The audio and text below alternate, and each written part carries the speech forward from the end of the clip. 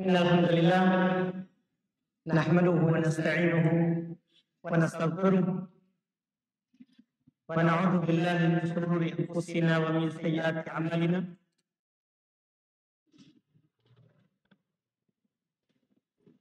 من يهده الله فلا مضل له ومن يضلل فلا هادي له.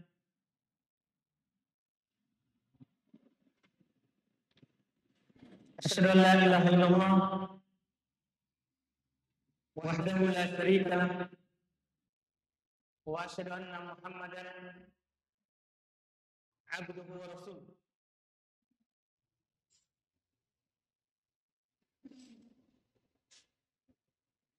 صلى الله عليه وعلى آله وأصحابه ومن تبعهم بإحسان إلى يوم الدين أما بعد. Jamaah salat maghrib rahimani wa rahimakumullah. Alhamdulillah kembali kita di malam hari ini melanjutkan kajian kitab Bulughul Maram karya Al-Imam Al-Hafidh Ibn Hajar rahimahullah taala kita di malam hari ini alhamdulillah masuk di bab yang baru setelah selesai sebelumnya dari pembahasan sifat sholat Nabi Shallallahu Alaihi Wasallam. Kita akan masuk di pembahasan yang terkait dengan sujud sahwi atau yang selain dari sujud sahwi, dari sujud yang ada di dalam sholat atau di luar sholat. Kata beliau rahimahullah babu sujud sahwi wa ghairihi. Bab terkait dengan sujud sahwi. Sujud karena lupa dalam sholat. Dan selainnya. Yang dimaksud di sini dengan selainnya adalah sujud tilawah dan sujud syukur. Karena kalau bahas di bab ini tiga jenis sujud ya dari selain sujud dalam sholat itu sujud sahmi, sujud tilawah, sujud syukur. Belum mulai dengan sujud sahmi, kemudian nanti sujud tilawah, setelah itu belum tutup dengan sujud syukur. Ini di antara bentuk keindahan susunan kitab ini, kitab Bulughul Maram min Adillatil Ahkam dari Imam Al-Hafidh Al-Hafidh Ibn Hajar. Setelah bahas sholat dari takbir sampai salam, maka belum membahas sujud sahwi. Juga sujud tilawah. Dikarenakan tentunya dalam sholat pasti ada hal yang kita lupa atau luput darinya. Apa harus kita lakukan kalau lupa atau luput? Jadi demikian pula tentunya dalam sholat. Ketika kita membaca Al-Quran, di dalamnya terdapat apa? Ayat-ayat sajadah. Maka apa yang harus kita lakukan kalau kita lewat? Kita membaca ayat sajadah. Dalam sholat, maka butuh kita tahu setelah kita memahami sholat itu dari takbiratul ihram sampai salam. Beliau sampaikan dulu hadis terkait dengan sujud sahwi. Kita baca dulu baru kita bahas hukum sujud sahwi. Kita baca hadis pertama, beliau sampaikan banyak ada beberapa riwayat di sini terkait dengan sujud sahwi. كتب له رحمه الله عن عبد الله بن بحينة رضي الله تعالى عنه قال أن النبي صلى الله عليه وعلى آله وسلم صلى بهم الظهر. فقام في الركعتين الأوليين ولم يجلس. فقام الناس معه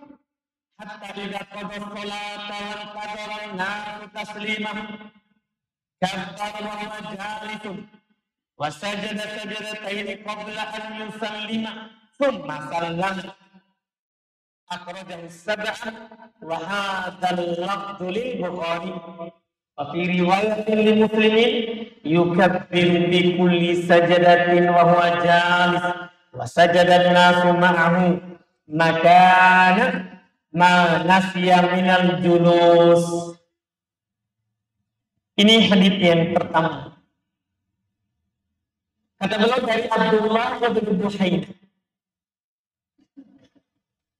Radiyallahu ta'ala. Beliau berkata bahwa Nabi Shallallahu Alaihi Wasallam sholat mengimami mereka di sholat dulu di sholat dulu Fakuna rakaatnya mulai maka di dua pas dua rakaat pertama Nabi langsung berdiri. Nah, ini kejadiannya ini. Ini di sini. Nanti ada lagi kejadian dari Nabi kita Muhammad SAW. Beliau sholat duha dan sholat asar hanya dua Langsung sama. Tidak berdiri. Kalau ini sholat duha kan biasanya ada tasyahud awal. Setelah dua rakaat. Kalau sudah dua rakaat. Ini pas dua rakaat Nabi berdiri tidak duduk. Kata Abdullah bin Mas'ud. Maka orang-orang berdiri bersamanya. Tidak bilang subhanallah. Karena ini kan di masalah yang buruk. Jangankan masalah tasawuf awal. Lihat saja semasa masih wahyu turun diubah. Diubah tadinya kiblat kaum muslimin menghadap Baitul Maqdis berlawanan arah dari yaitu sholatnya tidak ke sana bukan ke sini. Turun ayat di malam hari. Kiblat turun ke arah Baitul ke sini, tidak ke sana. Orang yang bersama mereka tahu langsung Nabi berubah, sehingga mereka berubah langsung kiblat. Tapi orang yang tidak tahu mereka yang ditolak ada orang lewat yang sudah sampai, sudah tahu bahwa sudah sholat bersama Nabi. Mereka lewat di masjid Kuba, orang masih sholat. Sudah berteriak, sudah turun malam hari ini, kiblat dipindah dari dari masjid ke Baitul Haram. Orang-orang langsung berputar. Orang-orang langsung berputar. Makanya dari situ mereka tidak mengikut Nabi SAW dengan menggunakan subhanallah. Walaupun nanti nanti akan ajarkan. Nanti kita akan baca. Kalau lupa, maka ada maaf yang disunahkan bagi dia ucapkan. Ya, bagi dia ucapkan. Jadi ini Nabi berdiri di dua.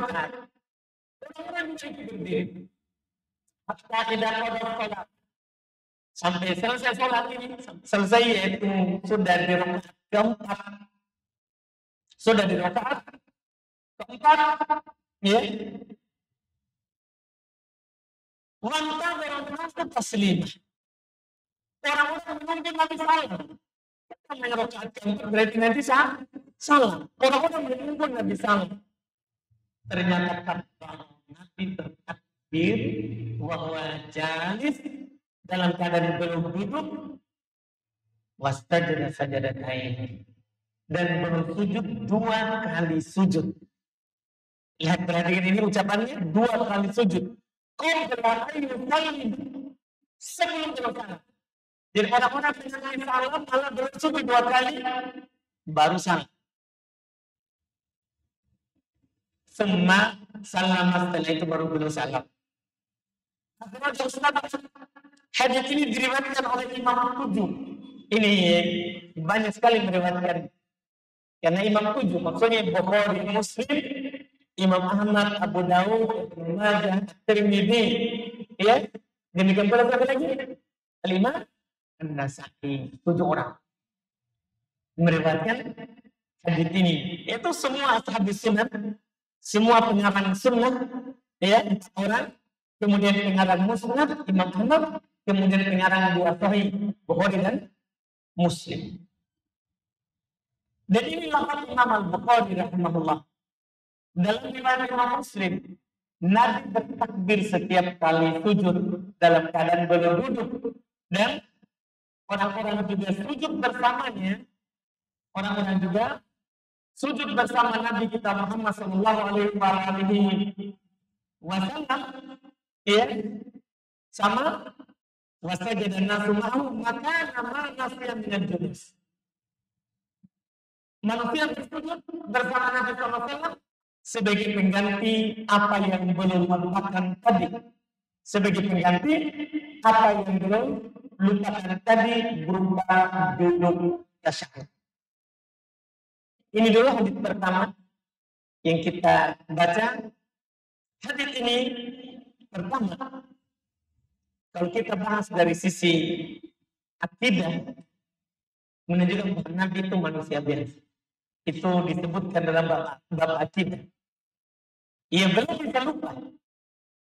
Seperti kita bisa lupa. Belum bukan yang pernah. Bukan. Tidak berhak untuk disembah. Beliau itu adalah hamba Allah. Maka yang belum berkata, kalau dalam bapak kita ini bapak keyakinan. La akruni.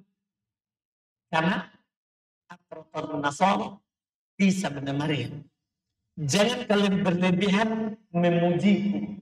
Sebagaimana orang-orang Nasara berlebihan memuji Isa. Akhirnya dia jadikan sembah. Selain Allah.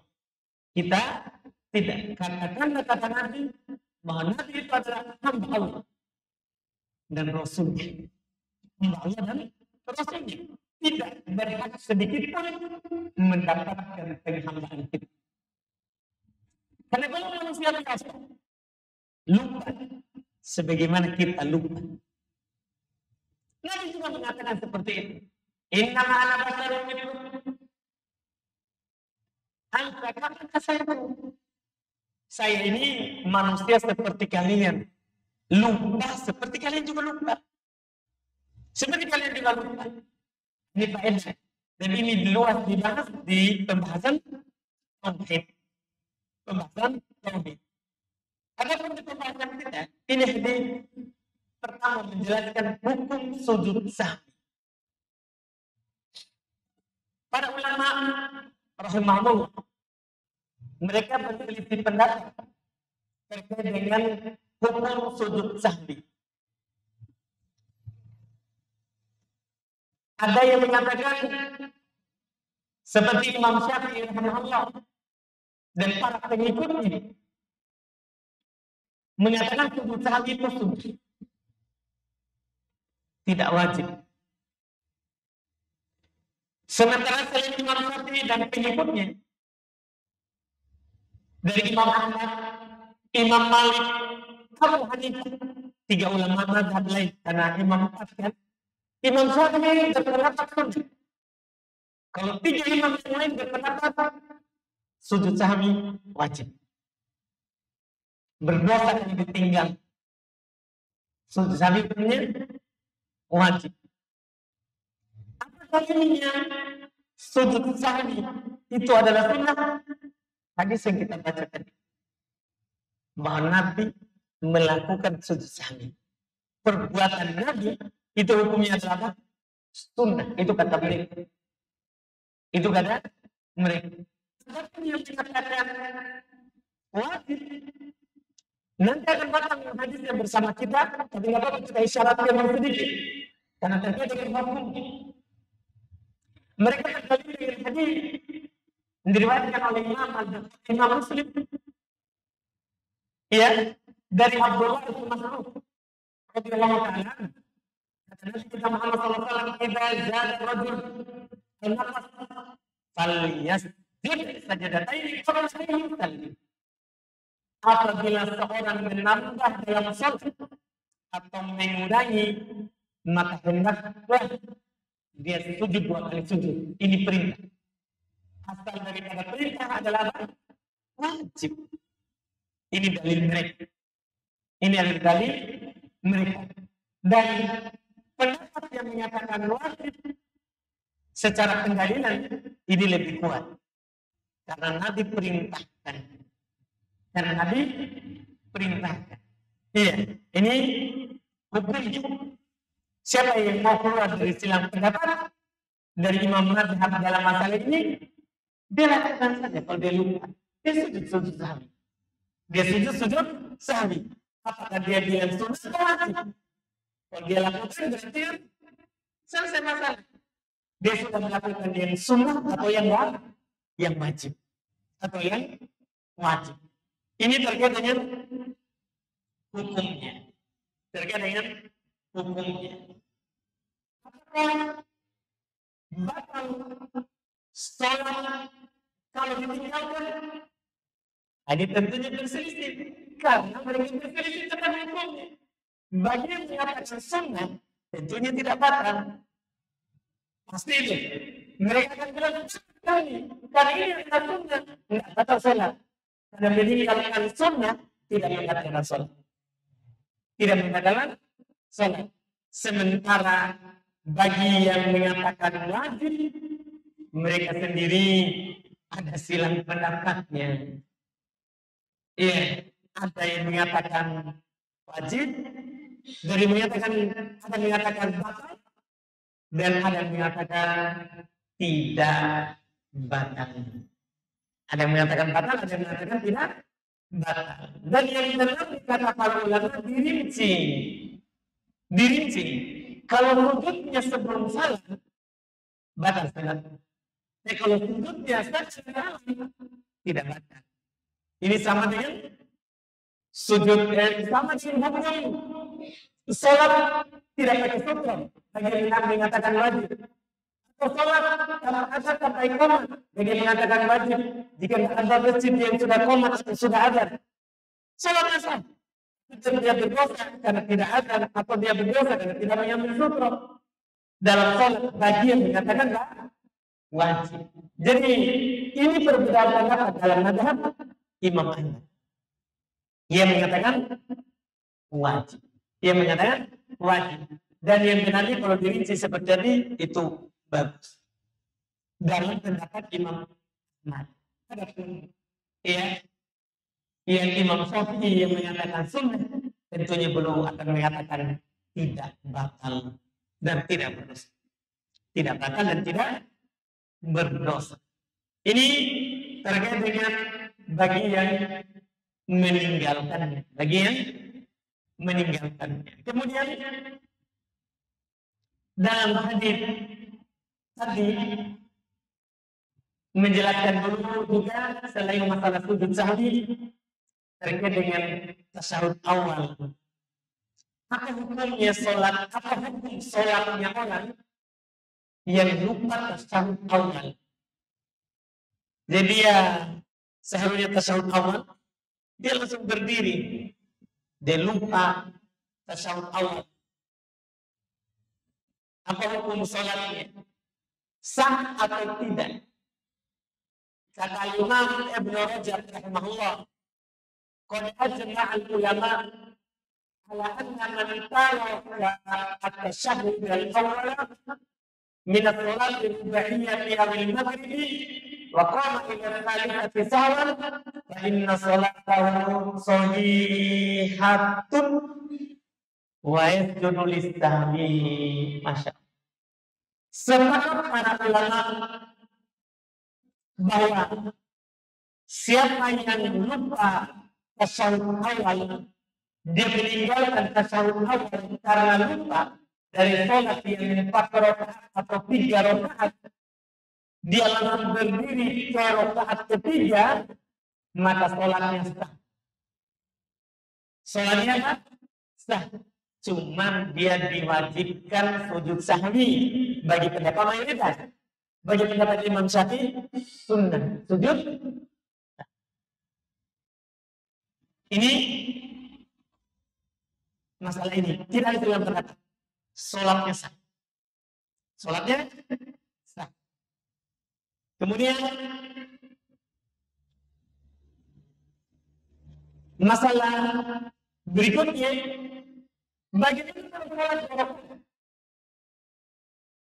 di luar tasawuf dia berdiri Maka kata para ulama tergantung. Kalau sholat wajib harus dia duduk. Harus dia duduk. Nggak boleh menambah rakaat. Kalau baik kan apa? Sebentar hadisnya. Kalau kalau lebih wajib dia duduk. Nggak boleh ditambah. Ketika nanti imam mengucapkan subhanallah, wajib dia duduk. Walaupun sudah berdiri. Walaupun dia sudah berdiri dan nanti ada tempat sujud sahwinya. Maka sebelum salam atau setelah salam, insya Allah ketika sudah dapat hadisnya baru kita bahas. Iya, baru kita bahas. Ini di sholat wajib. Bagaimana sholat sunnah? Apalagi ini berselisih pendapat para ulama. Ada yang mengatakan kalau sunnah dia lanjut saja. Dia langsung lanjut sampai empat. Kan boleh sholat sunnah langsung pada Dan ada hadis dari Nabi, boleh sholat sunnah sebelum empat rakaat, setelah empat rakaat. Jadi kalau dia lupa salam pas di rakaatnya, saya tidak salam dan salam, dengan akhirnya boleh dilanjut sampai empat. Itu disepakati kalau sampai empat. Apakah boleh tapi tidak? Kan sudah terlanjur sendiri. Bolehkah dia sampai tiga digenapkan? Baru nanti dia duduk tasawuf. Ini ada sedikit silam pendapat. Yang benarnya tidak boleh. Karena tidak boleh tidak ada sholat ganjil di siang. Tidak ada sholat ganjil di siang. Sehingga tidak Sehingga tidak dibolehkan. Ini perbedaannya sholat wajib sama sholat sunnah. Walaupun di sana yang lebih utama adalah merupakan pendapat dari kalangan Syafi'iyah orang-orang Syafi'iyah lebih utama dia kembali duduk karena dia sudah berniat dari awal mau sholat berapa dua rakaat lebih utama dia duduk kembali lebih utama dia duduk kembali dan ini tentunya ada sisi yang kuat apa yang mereka sebutkan ini. Walaupun kita ikut juga pendapat mayoritas, boleh dia sempurnakan sampai empat. Tapi lebih utama dia kembali. Lebih utama dia kembali. Ini yang disebutkan terkait dengan masalah sujud, masalah lupa tersahut di dalam sholat sunnah. Di dalam sholat sunnah. Kemudian Masalah berikutnya yang disinggung di hadir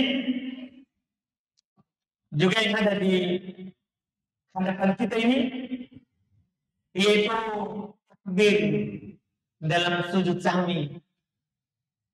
Dan jelas dalam riwayat Imam Muslim ya bahwa Nabi bertakbir di setiap kali sujud ini sangat jelas bahwa seorang juga dalam tujuh sehari dia takbir. Apakah sebelum salam atau setelah Iya, takbir. Allahu Akbar dalam sujud, Allahu Akbar naik sujud, kemudian duduk antara dua sujud, kemudian Allahu Akbar turun sujud, Allahu Akbar dari sujud. Kata Abdullah bin Muhammad dalam riwayat Muslim, yukabbiru fi kulli sajadah. Wah wajah Nabi bertakbir di setiap kali sujud dalam keadaan duduk. Ini sangat jelas dari sini ya. Jadi dalam tulisan adalah bertakbir. Apa masalah? Ini masalah terakhir.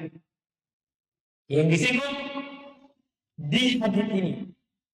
Apakah salam setelah sujud kami? Pertama, jika sujud sahwinya sebelum salam tentunya pasti salam karena dia belum salam dari salam salat setelah salam. Jika sujud dia nanti setelah salam. Apakah dia salam? Itu pertanyaannya sekarang. Apakah dia salam? Maka masalah salam setelah sujud sahwi yaitu terkait dengan setelah salam di antara para ulama rahimahullah taala ada yang berpendapat ya tidak salam cukup sujud saja. Cukup sujud saja sujud dua kali Allah Allah selesai. Tapi yang benarnya yang benarnya dia adalah dia salam juga. Dia salam juga. Ada kalau dia sujud sebelum salam nggak ada pendapat yang benar sih kalau salam kalau setelah salam dia sujud maka salam lagi setelah sujud dua kali. Setelah sujud dua kali. Ini telah sah telah sahih dari Abdullah bin Mas'ud dan riwayat Bukhari Muslim juga ya dari Imran bin Husain dalam riwayat Imam Muslim. Juga menjelaskan bahwa salam. Bahwa salam juga setelah sujud. Ya mereka nukil alam Nabi SAW sallam sallam ba'da sajatai sahwi allataini ba'da taslim mereka menukil bahwa Nabi SAW sujud setelah dua kali sujud sahwi setelah salam setelah salam dan ini pendapat mayoritas yang menyatakan salam ini ini adalah pendapat mayoritas. Adapun yang mengatakan tidak salah itu diriwayatkan dari dua orang tadi. Dari dua orang. Ada Al-Hasan, demikian pula ada Fatok Ibn Abdul yang mengatakan tidak salam. Tapi yang kuatnya adalah saya. Pendapat dari mayoritas. Pendapat dari mayoritas. Tapi kata Nah, ini masalah ini nanti ada hadisnya. Kalau yang diinginkan adalah sujud sebelum salam, maka tentunya tidak ada tasawuf. Karena sudah ada tasawuf tadi. Kemudian itu juga kali nanti itu salah. Dan setelah salam, apakah ada tasawuf atau tidak, nanti kita ini, kalau yang masalah ini, kita akhirkan ketika nanti kita sudah baca hadis yang eh, belum sebutkan nanti karena ada lafaz yang perlu kita eh, jelaskan bahwa ya Nabi Shallallahu Alaihi Wasallam mengisahkan riwayat itu beliau bertasawuf lagi. Baru salam tapi itu nanti yang jelas sekarang kita baru masalah salam ada salah atau tidak? Sebab kalau wujudnya sebelum salah, salah. Kalau wujudnya setelah salah, maka mayoritas berpendapat salah juga. Salah juga. Berbeda dengan dari penumpulan dari Al-Hasan, Al-Basri juga atau Ibn Abi dalam masalah ini dan itu tidak kuat. Itu tidak. Kenapa masalah tasawuf insya Allah kita akan ambil di pembahasan hadis nanti yang akan datang. Kita baca lagi hadis kedua.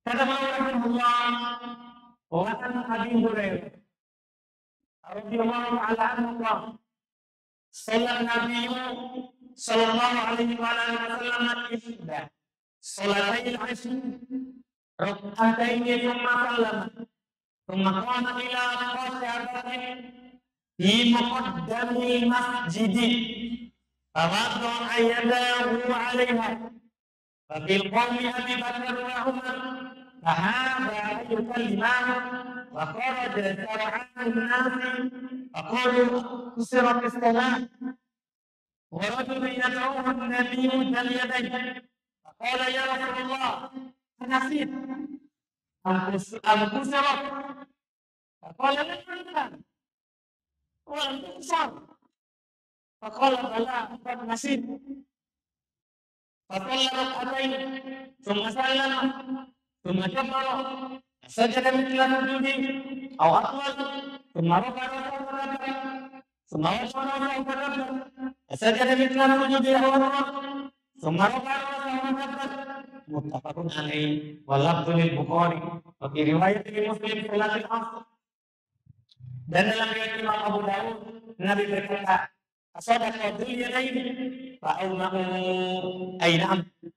na'am." Wa hiya fi sahihaini lakin bil lafzi faqal wa fi riwayat lahu wa lam yasjud hatta yaqanahu Allah dzalik.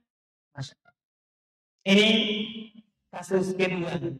Bentuknya berbeda dengan yang pertama. Ini sudah menjadi takdir Allah untuk mengajarkan syariat kepada umat Islam. Jadi belum berkata dari Abu Hurairah. Taala belum bercerita Nabi sholat mengimami mereka salah satu sholat petang. Nanti dalam riwayat Imam Muslim dikatakan sholat. Nanti kalau dua rakaat, kemudian sekali itu Nabi salam. Jadi kalau dua rakaat, Nabi salam. Semua Kemudian Nabi bergeser untuk duduk bersandar di tiang di depan masjid, yang bagian depan masjid. Bahwa ayat alaiha Nabi meletakkan tangan di atas tiang itu sambil duduk. Ya, di tengah kaum, di tengah para makmum, tapi keduanya, ya, takut. Karena ia dibawanya Nabi untuk berbicara kepada Nabi terkait dengan itu masalah. Bahwa ini baru dua langsung salam. Kemudian Nabi berdiri. Langsung duduk di tempat ya lain. Kemudian orang-orang pun yang punya hajat untuk keluar langsung setelah Nabi salam mereka keluar kalau sambil bercerita apakah sholat sudah dikurangi? Kan mereka kaget. Itu tadi mereka nggak protes dan bilang subhanallah karena kan kita ini zaman wahyu. Jadi mereka hanya bercerita apakah sholat sudah dikurangi. Maka di situ ada seorang yang nabi dia panggil dari ada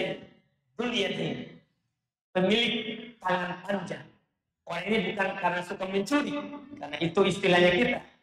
Kalau dibilang ini orang tangan panjang, berarti suka mencuri bukan. Ini memang dia tangannya panjang, bukan karena suka mencuri. Yang Nabi panggil dengan ini, dia yang berani berkata, wahai Rasulullah, apakah engkau lupa?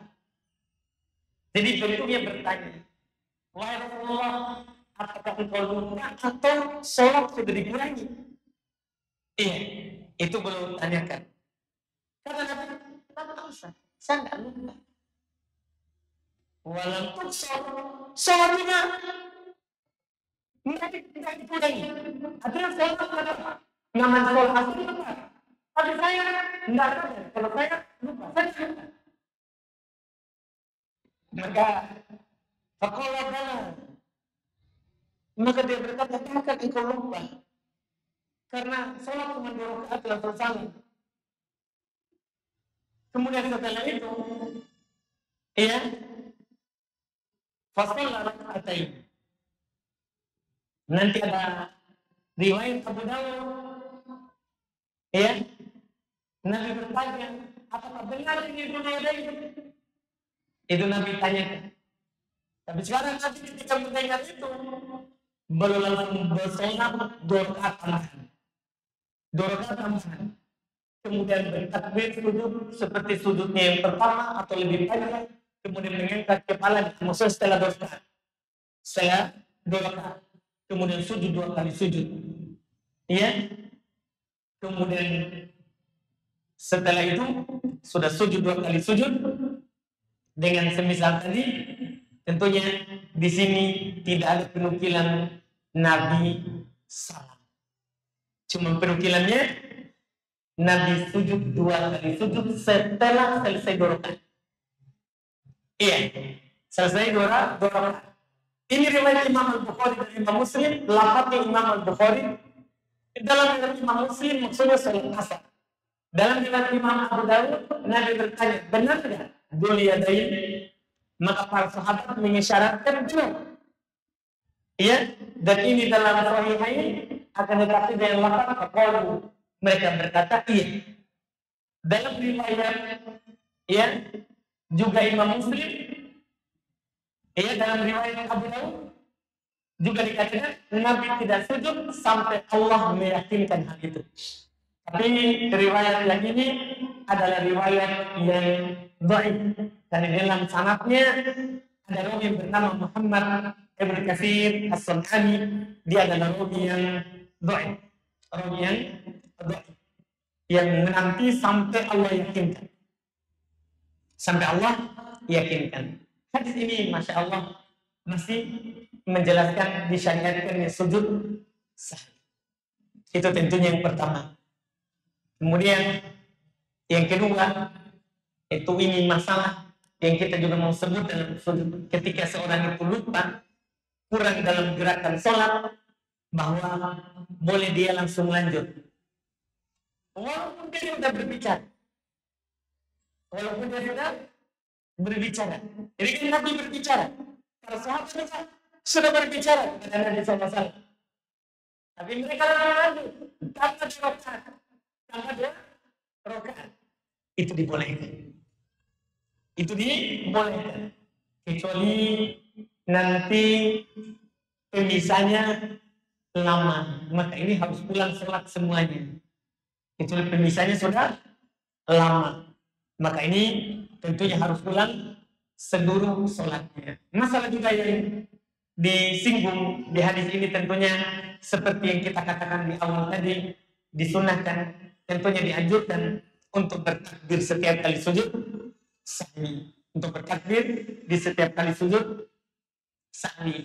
Kemudian ada penukilan di riwayat Bukhari Muslim ini bahwa Nabi sujud seperti sujud di sholat. Tapi kasih sama. Tidak cepat, tidak juga dibilang lama. Jangan sampai karena dikira sujud sahwi, lalu sujud cepat. Sujud kali langsung balik sedikit, baru langsung sujud lagi. Enggak. Di sini dikatakan, Fasaja la sujudi Allah. Nabi sujud seperti sujud biasa atau bahkan lebih panjang. Ini keterangan yang bagus sekali ini. Dan jangan sampai seorang karena ini kan hanya mengganti lupa. Hanya dia sujud cepat. Enggak. Sujudnya seperti biasa. Sujudnya seperti kita sujud di salat. Atau bahkan di sini dikatakan atau lebih panjang. Atau lebih Ini Masya Allah, faedah yang sangat luar biasa ini untuk menjelaskan kepada kita terkait dengan cara sujud sahwi. Terkait dengan cara sujud sahwi. Kemudian di sini juga di antara yang disinggung di hadis ini dalam riwayat Imam Al-Bukhari dan Imam Muslim yang Pertama, ya, bahwa seorang itu jika imamnya salah, dia tegur. Dia tegur. Iya, jangan dia diam. Jangan dia diam. Cuma bagaimana cara menegurnya? Ada dua keadaan. Sekarang kita bahas keadaan yang ini. Kalau dia sudah salah, ya sudah keluar dari caranya maka boleh tegurnya dengan bicara biasa dengan berbicara biasa boleh kita mungkin kita lupa boleh kita ngomong ketika dalam sholat nanti akan diajarkan caranya laki-laki mengucapkan subhanallah perempuan dia tepuk tangannya perempuan dia tepuk tangan nanti akan ada penjelasan. Ini juga penting sekali. Ketika imam itu kurang atau salah dalam gerakan sholat, dalam gerakan sholat. Ini masalah dari dua hadis yang pertama ini ya nanti kita lengkapi lagi insya Allah karena belum sebutkan beberapa riwayat terkait dengan sujud sahwi ini nanti kita lengkapi lagi di pertemuan yang akan datang insya Allah taala. Kita lihat di sini ada pertanyaan bagi ikhwah yang tanya langsung, tafadhol.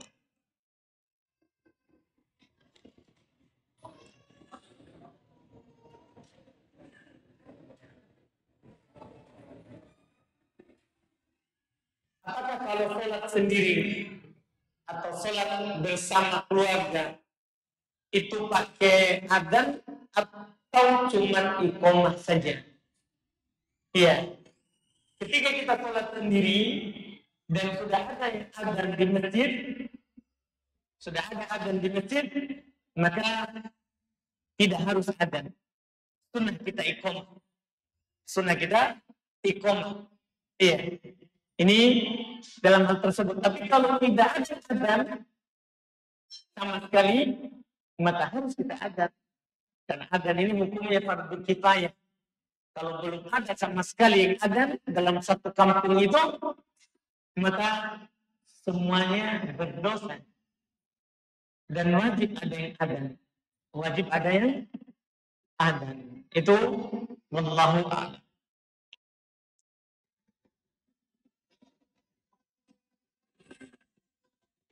Bagaimana tata cara sujud sahwi? Jika saya ragu, apakah saya menambah atau mengurangi satu rakaat? Nanti itu caranya.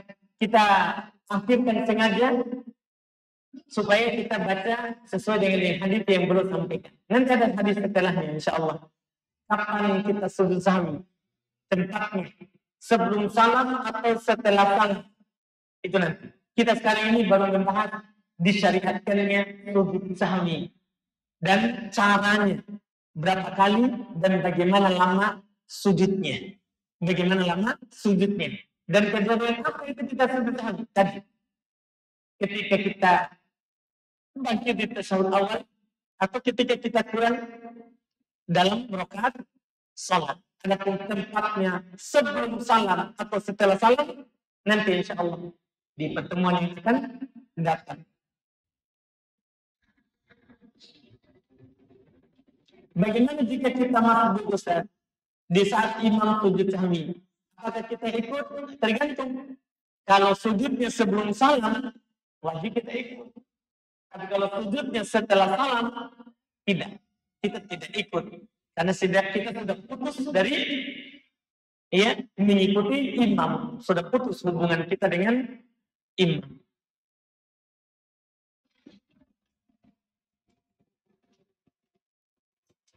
Adakah surat atau bacaan yang wajib dalam sholat wajib dan sunnah? Adakah surat atau bacaan yang wajib dalam sholat wajib dan sunnah? Tentunya, sampai kita jelaskan itu. Iya, kalau bacaan takbiratul ihram. Rukun itu ada sholat tanpa takbiratul ihram. Surat al-fatihah sholat tanpa surat Al-Fatihah. Sudah kita jelaskan itu. Sudah kita jelaskan ya di pembahasan sifat sholat Nabi Shallallahu Alaihi Wasallam sebelum kita bahas tentang sujud sahwi.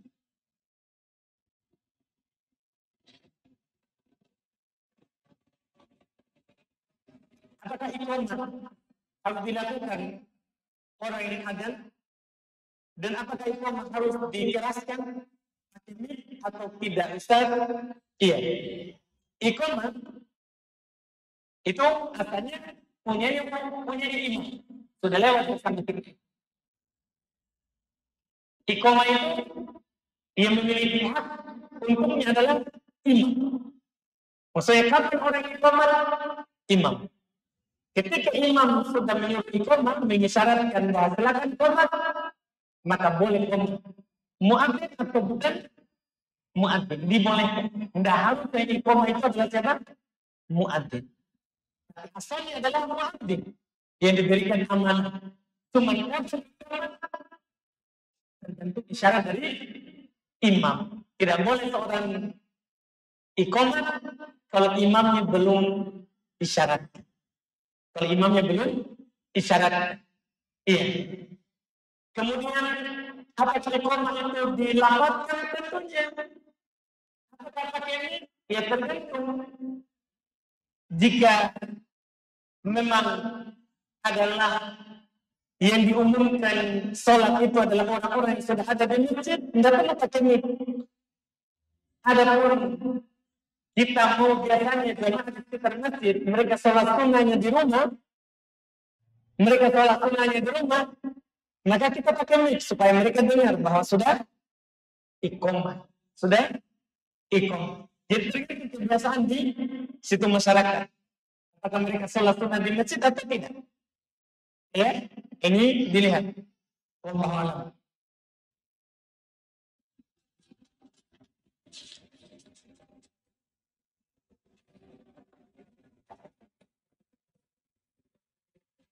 Apakah jadi suami milik istri? Tidak, milik suami. Kenapa milik istri? Gaji suami miliknya suami, bukan miliknya istri. Kalau dikasih, baru miliknya. Suami dari ini dia kasih istri untuk uang belanja dan memang harus dikasih istri sebagai nafkah uang belanjanya wajib suami memberikan uang belanja istri uang belanja istrinya bukan belanja bersama belanja dia punya hak kepada suami untuk mendapatkan uang belanjanya sendiri uang belanjanya sendiri iya jadi kalau dikasih uang belanjanya maka itu miliknya itu miliknya. Kalau nggak dikasih, maka bukan miliknya. Kecuali suaminya pelit, tidak memberikan uang belanja, boleh diambil. Sesuai dengan yang. Berapa biasanya orang belanjanya per bulan dia kasih istrinya? Boleh diambil uang suaminya. Izin. Ini suaminya tidak melakukan haknya.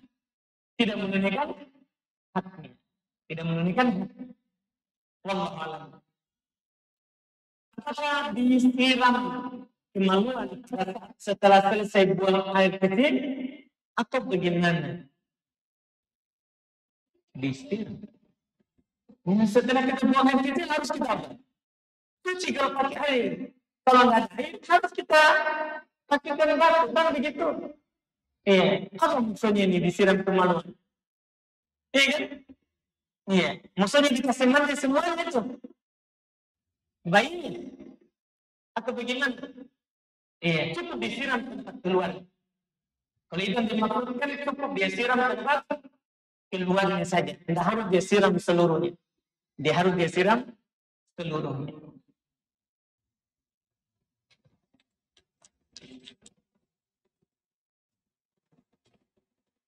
Izin bertanya Ustaz, di dalam sholat kan kita dilarang untuk melipat celana atau menggulung celana.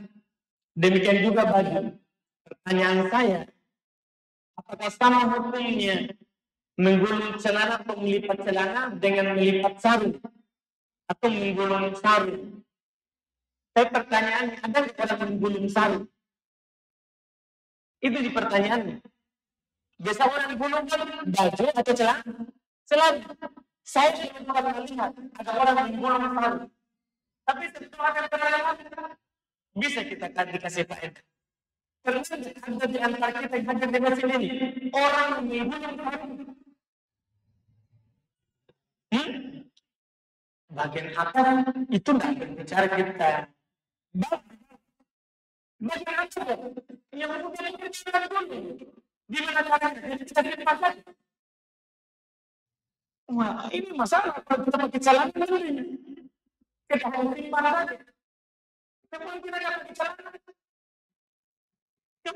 masalah. Jadi memang kalau di gunung. Itu dibutuhkan karena untuk orang bagian bawah yang kita masalah. Dan orang mempunyai sarungnya di bawah. Dia sebelum dari kita ada? Belum ada. Ada yang kira, sekarang apa-apa kira. Iya.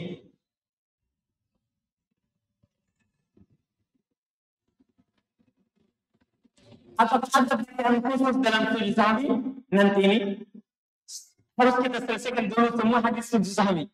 Baru kita tahu nanti kita punya kesimpulan. Bacaan. Ini sekarang baru dua hadis. Baru dua hadis barakallahu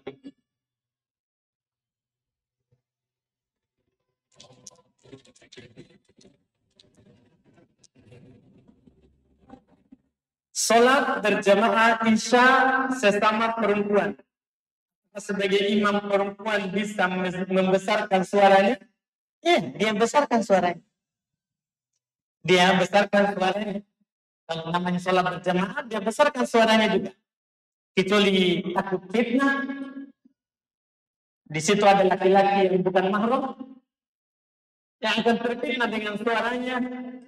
Ya, maka dia tidak keraskan. Cukup didengar oleh orang di sekitarnya. Ya, orang di sekitar. Karena akan membuat terfitnah orang-orang yang hatinya sakit. Karena ada memang orang begitu.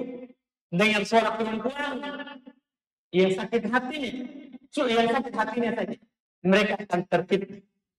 Mereka akan terfitnah. Jadi kalau dikhawatirkan seperti itu, cukup orang-orang di sampingnya mendengarkan bacaannya. Karena menjahatkan bacaan dalam sholat jahriyah hukumnya adalah sunnah, bukan wajib. Tapi kalau ada orang mengajarkan itu tidak jahat, sah sholatnya. Sah sholatnya. Seperti itu, Allah. Sudah habis, Alhamdulillah. Ada yang bertanya lagi? Silakan.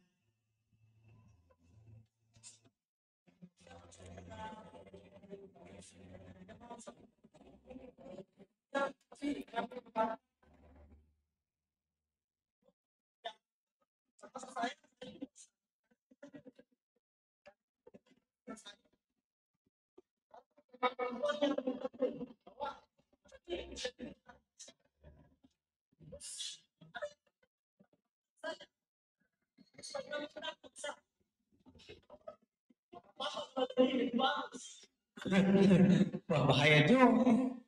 Hmm.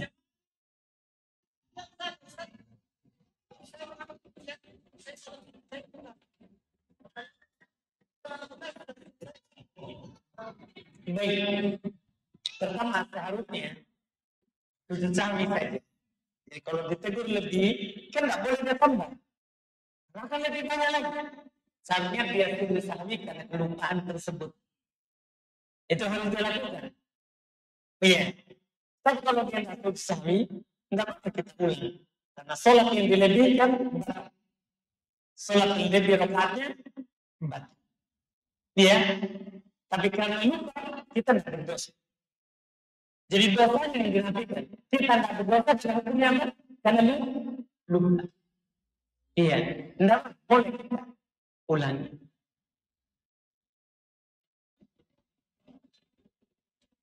Ada?